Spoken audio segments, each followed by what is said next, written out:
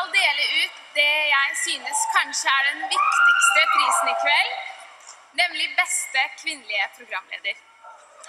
Ikke et sekund for tidlig.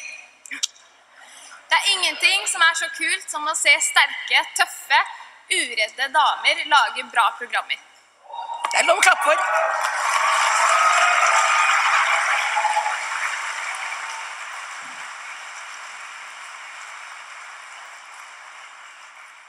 Og jeg mener egentlig at du kunne leda hvilket som helst av de nominerte programmene, Elsa. Nei, jeg, nei, det er hyggelig sagt, men jeg hadde ikke egna meg til det i det hele tatt. Jeg, altså, nei, nei. Hæ? Nei. Ja, men hvorfor kunne ikke du leda Else fikser kroppen, f.eks.? Da må du ha noe du har lyst til å fikse, da. Ok, hva med, tenker kanskje på Helene sjekker inn? Else sjekker hva med Else sjekker inn? Nei, altså, jeg, hvis jeg skulle lede et programmet, hadde jeg sjekka inn på luksushotell. Altså, eh, To uker rett ut på Maldivene mens jeg leser Jo Nesbø. Det blir ikke gullrute av det. Ok, hva med Janne Amble Haugan, da? Altså, Hun er for smart, rett og slett. Altså, Hun er jo for smart for TV Norge, så jeg måtte putte henne på fem. Det er derfor du ikke vet hvem hun er.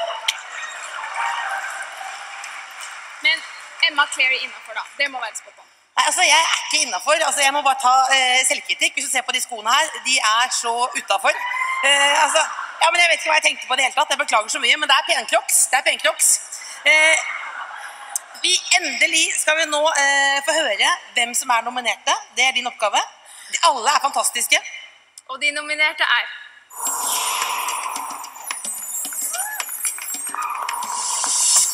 Emma Claire Gabrielsen for Innafor, publisert av NRK for NRK. Line Elfsåshagen for Line fikser kroppen, produsert av NRK for NRK.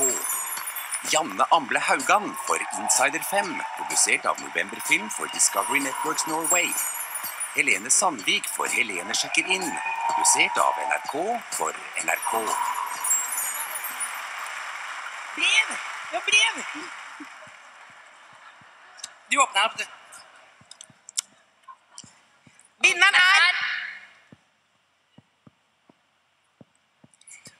Helene Sandvik! Helene Sandvik vinner prisen Helene sjekker inn. I denne dokumentarserien flytter hun inn i ulike